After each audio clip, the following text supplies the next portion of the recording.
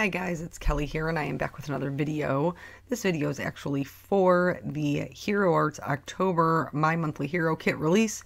This is the kit. This is pretty much all I'm using today, though all of these things will apply to any kind of scene cards you want to do. So frequently I don't show my whole process when I'm building a scene because there's so much with the Copic coloring and everything else. So today I decided to split this card into two videos to kind of show you my whole process in case you would like to start making scenes as well. I always do a practice piece. That's what you see here. I'm stamping actually in Distress Inks. The reason I'm stamping in Distress Inks is because they're super easy to clean up. And here's reason number one why I have to do the practice pieces. So I wanted to use all the little ice skaters, but I didn't realize that this little ice skater is much bigger than the other ice skaters. And if I had stamped her where I originally wanted to, which was kind of in the background, she would look like crazy giant ice skater. She's not a crazy giant ice skater, so I had to put her more toward the front, so that way, perspective wise, um, anything that's closer to you appears bigger at first I thought I was going to do, um, it has like this tiny little um, pond, like this little ice skating pond rink in it. And so I was like, well, I'll just use that and I'll stamp um, two of them. And then that way um, I can connect them in the middle. I'll just wipe one of the inks off and I'll connect them in the middle. But then when I held up this other little ice skater, I realized it didn't go back far enough. It wasn't wide enough for me to include all of my skaters, including the one that was behind the tree. So now here, again, this is why we do the practice pieces. I'm trying to find a place to put her because I stamped the first girl up front way too far out. She's just, she's just way too far up, like way too far over by the tree. So I started over again. And this is like, I'm just using, um, you can see the, my Simon Says stamp grid paper on the back there. Um, I just use the back of them like as they get dirty, I just cut them up into pieces and use the back of them. Here, so now I figured out my placement for the girl in the back. Um, now I'm figuring out my placement for the girl in the front. I restamped my little couple up front. I wanted to add a bench and some lamps that are also included in the set. So I'm just stamping those down. You'll notice I'm not masking anything. I do stamp the different elements in different colors. Um, so that way I can kind of see them individually instead of just stamping like black on black on black on black. Um, and then I am drawing in what will be my pond since I'm kind of freehanding it. So I'm just going to keep that over to the left hand side and then I'll be able to refer to it. You could also use it as a template. I um, like for your stamps, if you're using a stamp positioner, I choose not to do that.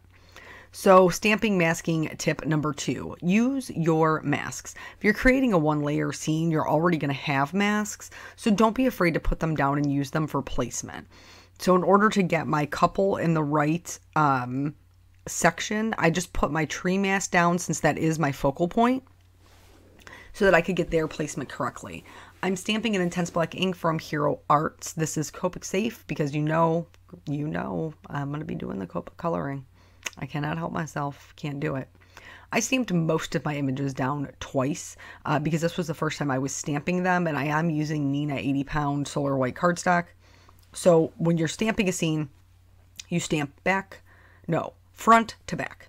So whatever whatever is in the front, you stamp first and then you mask it and you work your way towards the back of the scene. So pretty much the last things I'm going to stamp are going to be um, the bench that's in the back and the ice skater that's furthest from the front. So now that I have all of those, I the little boy and little girl stamped, I masked them. I'm going to put my tree back in place because I need to um, get my ornaments and my tree topper in place. So I'm using this to kind of place where they're going to be on the tree. Um, and then you'll see I have another little trick for this, um, either or. So this one I use the mask and that's totally fine. You can absolutely use the mask to place those things. Just be careful anytime you're putting, I'm using Eclipse masking paper by the way. Anytime you're putting masks on top of other masks, we need to be aware. I'm going to stamp these down and then put their masks in place um, so that I'm not, you know, stamping the tree right over the ornaments and then the whole thing was pointless. But the other way that you can do this kind of trick, so see if I put the mask over top of it now, I won't be able to see where the other ornaments are, so I won't be able to tell for placement. Instead, what I'm going to do is I'm going to use this um, ink on 3, which is a no line coloring ink. You could do this with any light colored ink. It doesn't have to be this one. This is just, I have this one, so I'm going to use it. Um, but you could use a light color distress ink. Uh, we're going to stamp right over top of it again in black, so it doesn't matter. It's just going to give us like a shadow outline for where the rest of the ornaments are going to go. So now I'm switching MISTIs. I was using the mini MISTI. I'm switching over to the big MISTI so I don't have to move my tree. I'm going to put the next round of ornaments where I want them to be. And then also my little skater on the right hand side who's going to be hanging over the edge. I'm going to get her too because she won't fit in the mini MISTI. Um, yeah, she just, the card is just too wide to have her hanging over the edge. Um, so I'm going to stamp those down and then I'm going to mask all of those as well. So right now it kind of just looks like I have ornaments that are just floating in the air. That's not true. We're finally to the point where I'm going to stamp the tree. I wanted to make sure that everything was lined up. That's why I picked my MISTI back up so you didn't have to look at the back of my head. Um, and then I'm going to stamp my tree down finally. And um, you can see here, remember I told you check those masks? Um, I picked up two of my masks and I didn't realize it. So, two of the masks that were covering up my ornaments, I actually picked up and was putting ink on. Um, so I did cut two new masks because I had put black ink just all over everything, everywhere, all over the things. Um, and so I am going to put those in place and then go ahead and stamp my tree just like I had originally intended to. The other thing of note is because I have a tree topper, you saw me use a baby wipe to wipe off just the top of the tree. Um, that's because I don't want a bunch of greenery sticking out from behind my star. It wouldn't make any sense. Um, once my tree is stamped down, I'm going to put the mask in place for this. As far as cutting your masks, um, basically with masks, know what you need. Okay, know when it's okay to just leave it. Now, I'm doing a Distress ink background, so most of my items need masks. If you were just stamping this and then completely covering it with Copics, a lot of them wouldn't. And when I say know what you need, I'm going to stamp this bench. But when I trimmed the mask for the bench, I didn't trim all around those little teeny tiny um, wrought iron handles. I didn't need to.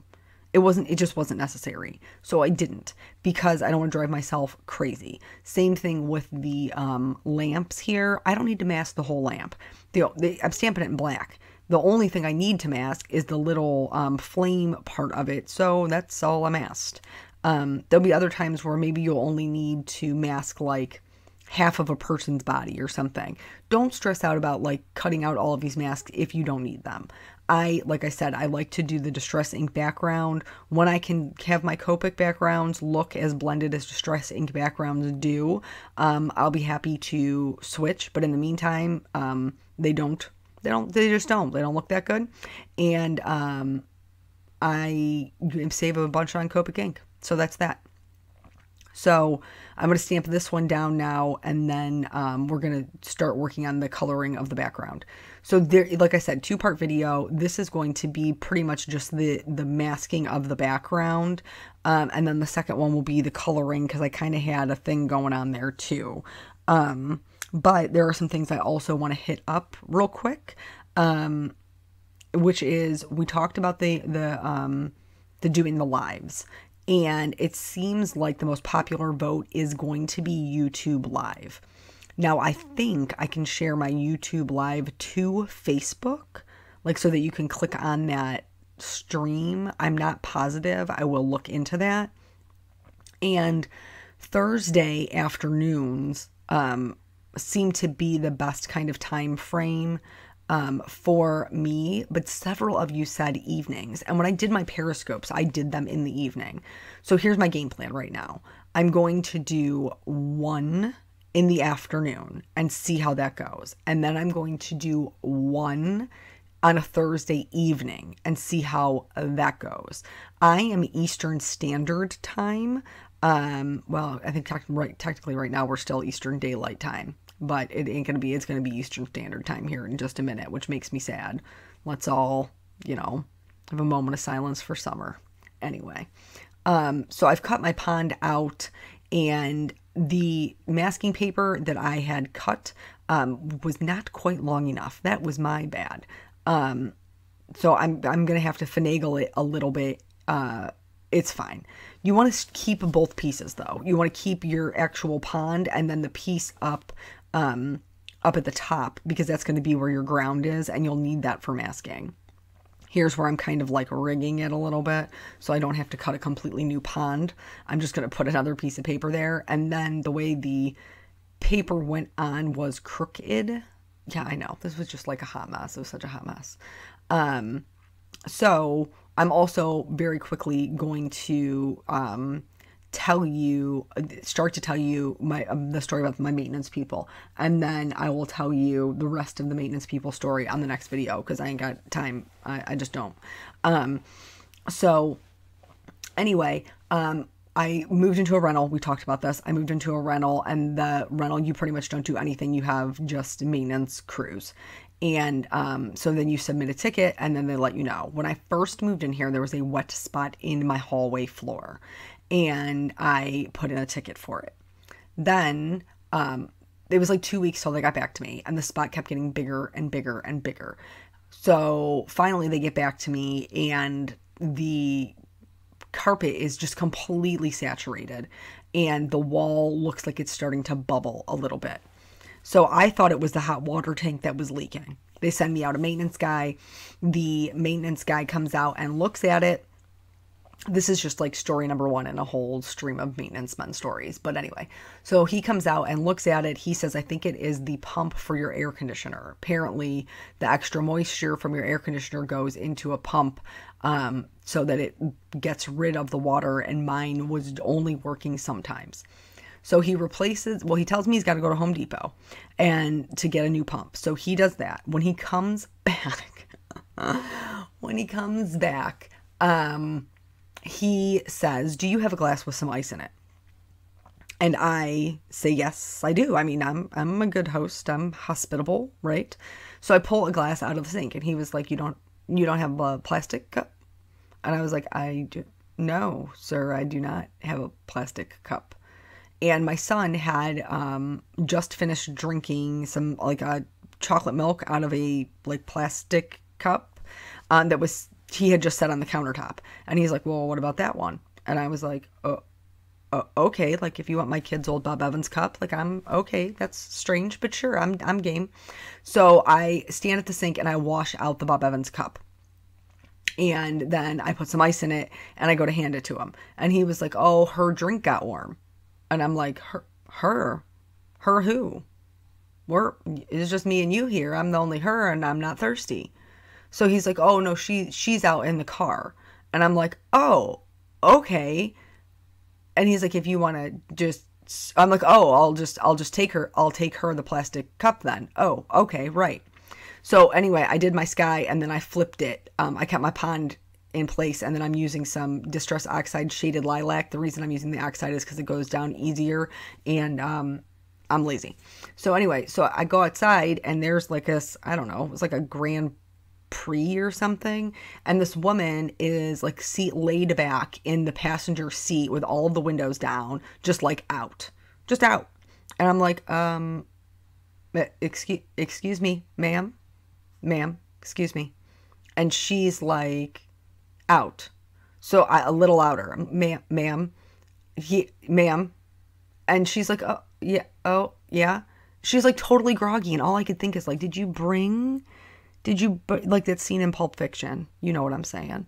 Anyway, um, I was like, oh, okay. Like, are you, are you okay? And she was like, oh, just, it's just warm. And I'm like, oh, all right. Well, he said you needed some ice cup and ice in a cup.